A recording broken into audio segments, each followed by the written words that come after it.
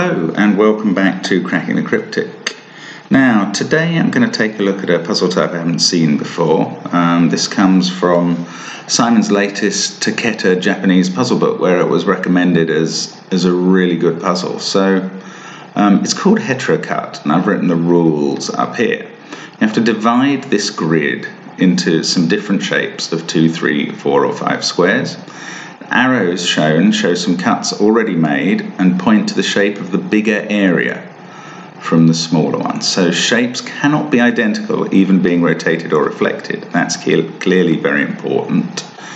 And that's why I've put up here a diagram of all the possible shapes we can enter.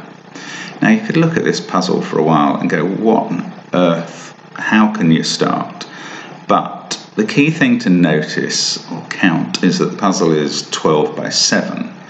That's 84 cells. Now, there are 12 possible pentominoes, that's 60 cells. 5 tetrominoes is another 20.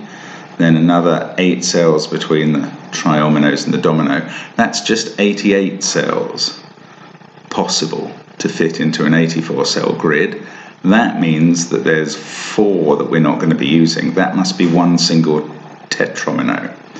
So we know that we're going to be using all 12 pentominoes, four of the tetrominoes, and the other three smaller shapes. Um, all very well, you may say, but how do we know where any of those go?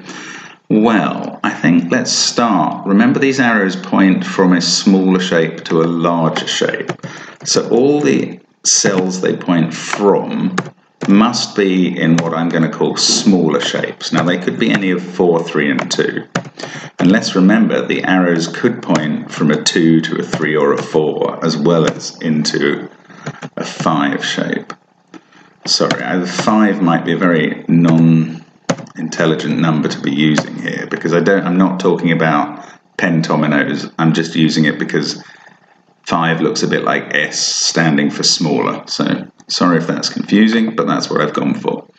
So these 5s point from smaller shapes into larger shapes. And how many have we got? We've got 6, 9, 11, 15 of those already. And we're only going to be using 16, 19, 24 cells in smaller shapes. And we've already placed 15 of them. So that's quite a start. Um, also down in this corner, we can put another one in here because we know there's a line down here and this is part of a shape that's obviously larger than one cell. So we've got 16 of the 24 smaller shapes per um, placed. But what else can we do? Well, one thing we can do is to consider how many smaller shapes we're placing and it's going to be four of the tetrominoes and the other three even smaller shapes. So that's seven shapes. So these, um, was it 15, 4, 6, 7, 10, 12, 16 smaller cells that we've placed have to fit into just seven shapes. And that actually does seem a bit restrictive. Um, how could that possibly work? Well, we could have a T tetromino here, these four over the right side of the grid, let's try and just fit them into two shapes. That would have to be an I there and an L here. This cell must be in something larger than the four shape, so it can't be in it. So we've got L, I, and T tetromino. We've only got an S tetromino to place, and we'd better try and use up two cells with that. So I think that could go here. Now you may be saying, but that arrow points into one of these smaller shapes, but that must point into it from an even smaller shape. So I think this works. This could be the four tetrominoes, and they're all different. So that's quite neat. I think that works for those and it really uses up the ones well. And now you can probably see from these other fives or s's that we can fit them into the three smallest shapes. Um, it's clearly going to work for this arrow that, that might have been a problem. So this is going to have to be a 3. Now, one of these is a 2 and one of them's a 3. And the 3 is the kind of L-shaped 3. But we don't know which way around they are. I think this is right. I mean, I'm going to highlight all of these cells that I've got um, done so far in, uh, let's use blue for the smaller shapes. And I'll put these two in red for now, pinkish colour this turns out to be. And one of these four cells, we're not really sure about them. I'll put them in grey. One of those is another smaller shape piece. But now, apart from the cells we've coloured, every other cell in the grid and three of these grey cells have to be in pentominoes. So we can start creating some of those. This must be one here. Let's colour it brown, say. And this is very useful. These two must be in a pentomino, so that must go all the way up here to get five cells. And that means that those grey cells are gone. Oh, sorry, I'm not choosing great colours here. Let's make the pentominoes green. That one, that's a yellow, okay. So we've got two of the pentominoes placed. Again, we can do another pentomino up here.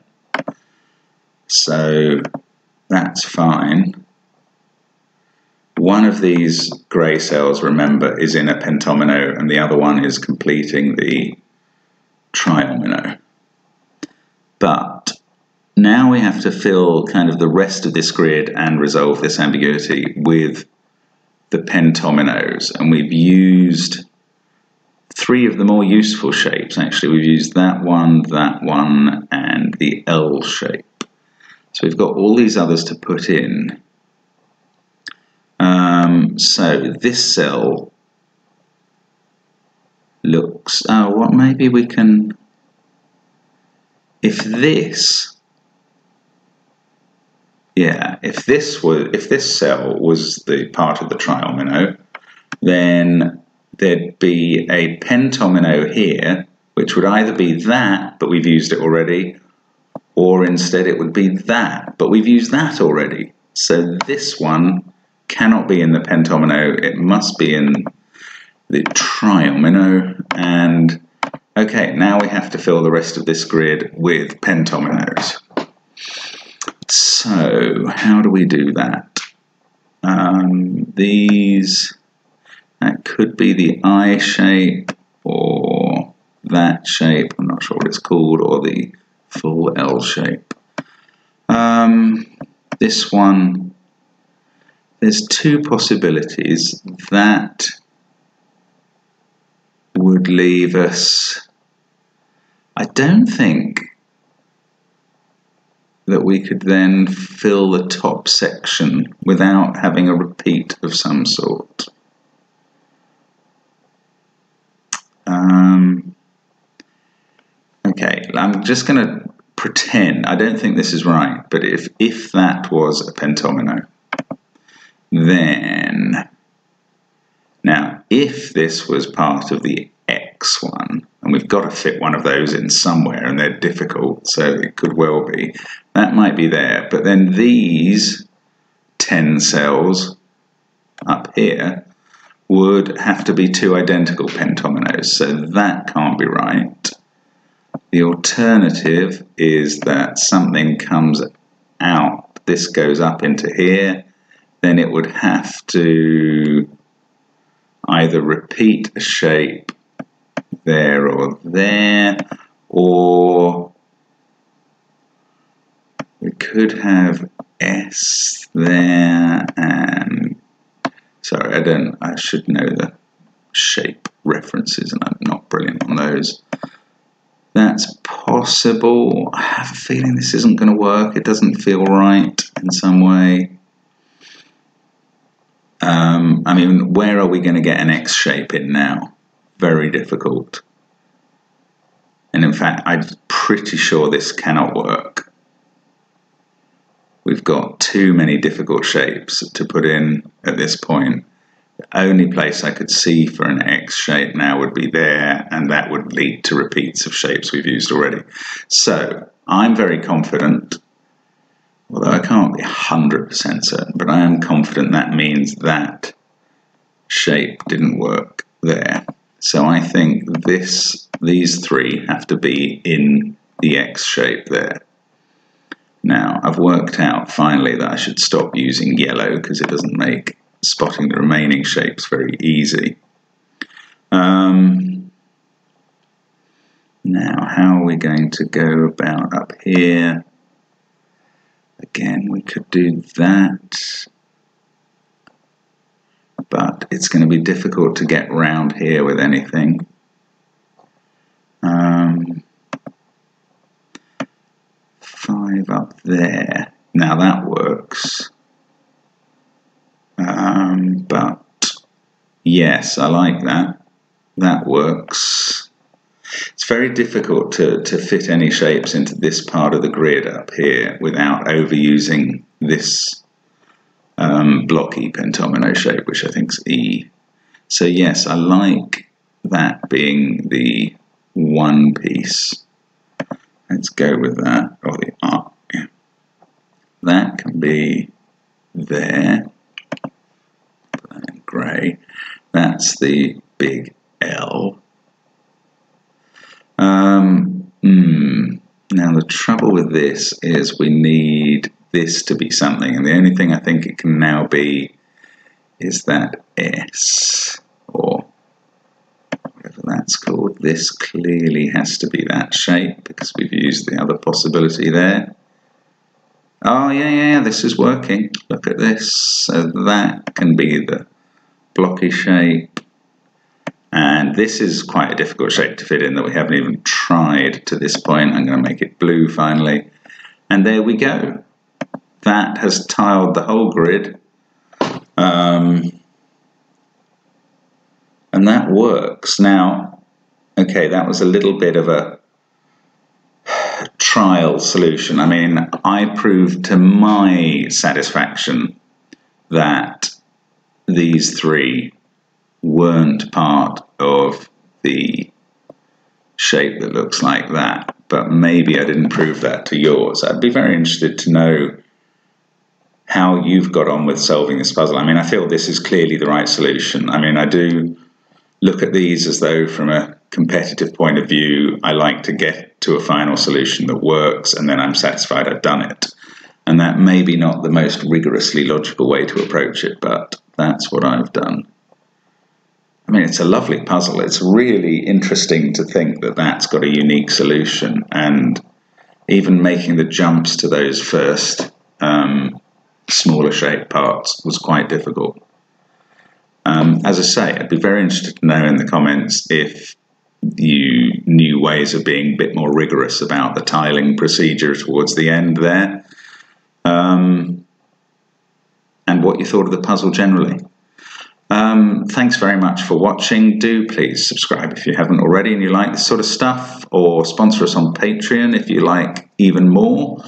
Um, there's probably a new puzzle coming out fairly soon on that. And um, obviously, do remember to try our apps. Our new classic Sudoku app is rating very well on Android and the App Store I know, and probably on Steam as well. So we're delighted with it and uh, recommend it very highly, as well as our original Sandwich Sudoku app. So thanks very much for watching, and hope to see you again soon on Cracking the Cryptic.